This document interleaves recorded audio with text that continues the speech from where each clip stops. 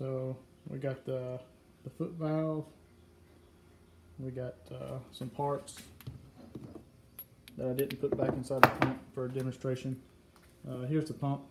Uh, I'll take it apart. You can kind of see how it comes apart uh, and explain a little bit more about it. Morning folks, today we're going to rebuild this pitcher pump.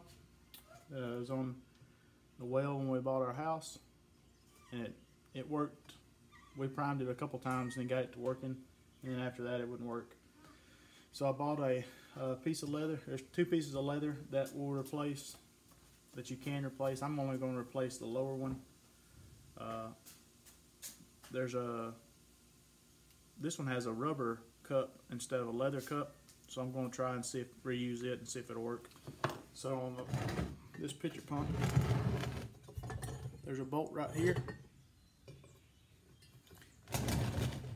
On this one, it also has a set screw here and a set screw on the opposite side.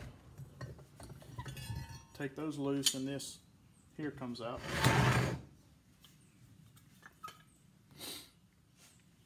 And this mounts in here like this. I don't know how old this pitcher pump is or what model it is. Some of them I've seen, this here is threaded whatever this part, this assembly is called, it's actually threaded inside of this here. This one just has uh, two little ears. And it just twists and locks inside of there. Locks in place. And so next you'll take off this and mine had some type of rubber that's uh, somebody a long time ago before me probably just makeshifted something. But this is a piece I purchased. This acts as a seal and this is a weight. I have a little bolt that puts them together. I haven't found a bolt to replace it with yet. The one I had was all rusted up. But this acts as a weight, so when water comes through, when you pump it, it'll open up, let water through, and it'll shut and seal it off so water doesn't drain down uh, completely out of the out of the pump. Also, that's what we bought this check valve for. It'll hold water. It'll it will allow water to come up the pipe but not go back down the pipe. That way, you don't have to prime it. And it's also got a screen on it that'll keep trash out. But uh, one thing I wanted to show is this is a three and a half by three, three and a half being the outer diameter, uh, three being the, the diameter of this inside flap. You can see that with the with the smooth side up, I thought I bought the wrong piece. The smooth side up, it doesn't, it won't fit inside this groove. It's almost like it's too big. But if you flip it over, so that you got the rough side up. It will fit.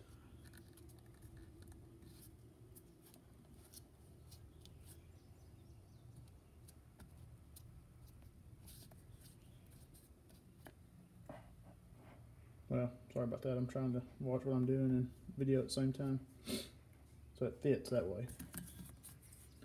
It kind of has to do with the way this leather is cut out. It's got uh, this this top smooth side is kind of got a good radius to it. This bottom side's got like a little bit of an edge, so it's actually a larger diameter. And two, the way this here is made, it's got that got a little bit of a radius in there, and so it just fits better that way. So if you're having trouble, try flipping it over. And they recommend to soak this in water or vegetable oil for like 24 hours. Let it hydrate before you install it. So I'll probably do that. And then also, I don't have a flashlight with me, but you can see the inside of this one's pretty, pretty pitted and rusted. So I'm gonna take a wire wheel and clean that out. I'm going to reuse this rubber cup, I've, I'm, I've not looked, I've, I've looked on the internet and I'm not seeing a rubber cup for sale. There's no telling how old this is. You can see it's, it's worn a little bit.